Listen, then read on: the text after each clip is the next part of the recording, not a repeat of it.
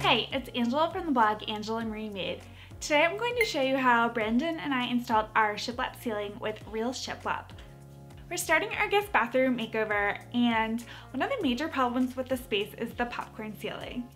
Instead of removing the popcorn ceiling like we have with plenty of other rooms in our house, we decided we just want to cover it up this time and we're going to use shiplap to do that.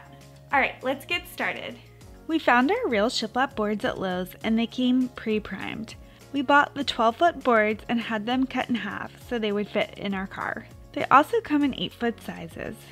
The first step is to prep your ceiling for the shiplap and mark the studs.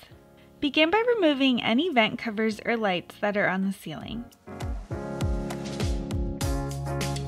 Use a stud finder and mark the studs on the ceiling. You can use a chalk line to mark a stud line across the ceiling. I didn't know where my chalk line was, so I just used a board to draw a line from the stud mark on each side of the ceiling.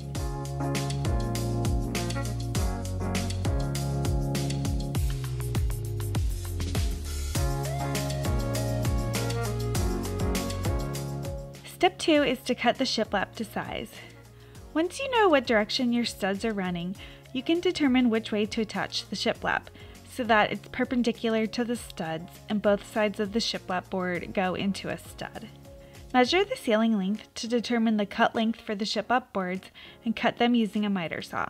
If you're going to install crown molding like us or another type of trim, you can cut your shiplap boards a little bit shorter since the gap will be covered by the molding or the trim. Just make sure to measure how far out your molding will go so you know how much extra coverage you have. I highly recommend using molding or trim to make the shiplap installation process easier than trying to cut the boards perfectly to size since walls can be crooked. But you can do it that way if you prefer. Step 3 is to install the first shiplap board. Apply construction adhesive to one of the shiplap boards. Make sure to apply it to the back of the shiplap.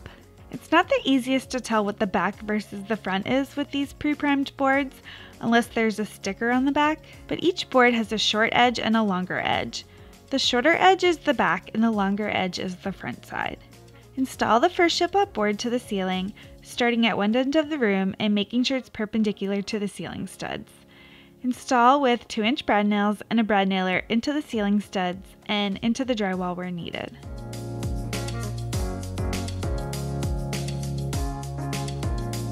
Continue with installing the next board the same way. At some point you will probably run into a light, vent, or fan hole on the ceiling and you will need to make special cuts on the shiplap for these using a jigsaw or another special cutting tool. For our recessed lights, we held up the round light cover over the board and traced the circle we needed to cut out.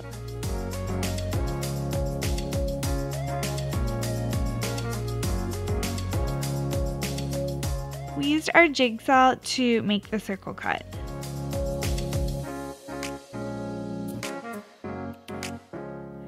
After making the first half of the circle cut, we held up another board and finished tracing the round light cover again to make the rest of the circle cut out on our next board.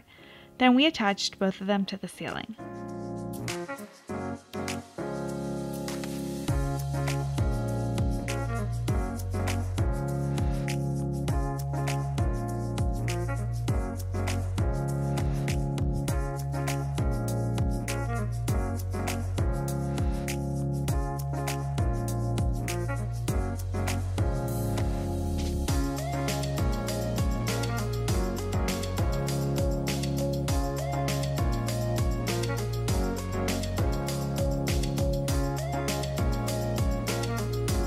For rectangular cuts for our vent and fan, we just held the board up in place and marked where we needed to cut the board, either with a jigsaw or a miter saw.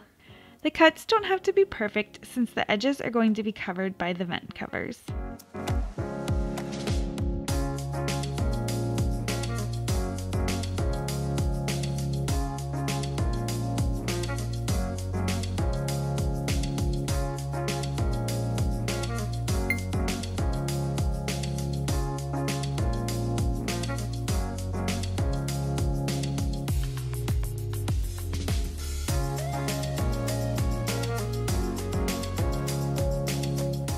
Continue installing the shiplap boards.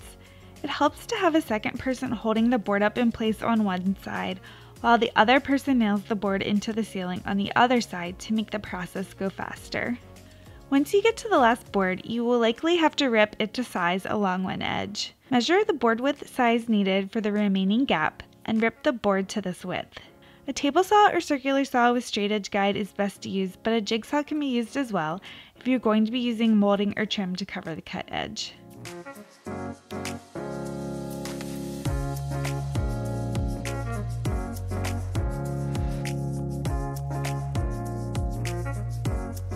After the shiplap has been installed, install your crown molding or trim. If you don't want to do crown molding cuts, something as simple as quarter round can be used to cover the edges.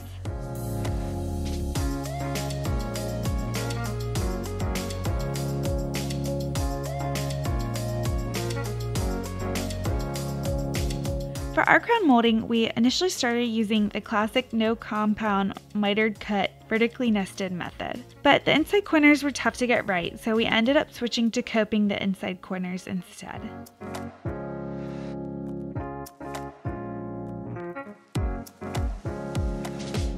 The last step is to prep for paint and then paint the shiplap ceiling. Fill all the nail holes in with a lightweight spackle.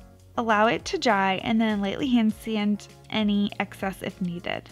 Then caulk all the gaps, seams, and corners with a paintable caulk. After caulking, prime the boards if they aren't already pre-primed like ours were. Finally, paint the shiplap and molding. We used Alabaster by Sherwin-Williams in an eggshell sheen on the shiplap molding and wall.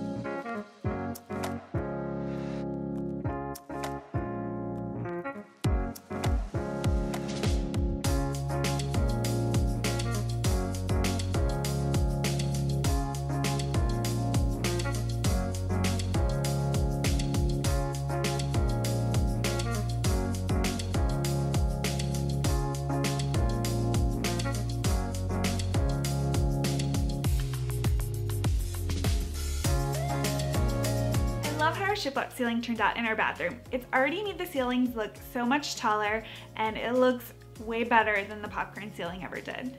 Let me know what you think in the comments below and if you have any questions you can ask below as well or you can ask over in our Woodworking for the Home Facebook group at facebook.com slash groups slash woodworking for the home.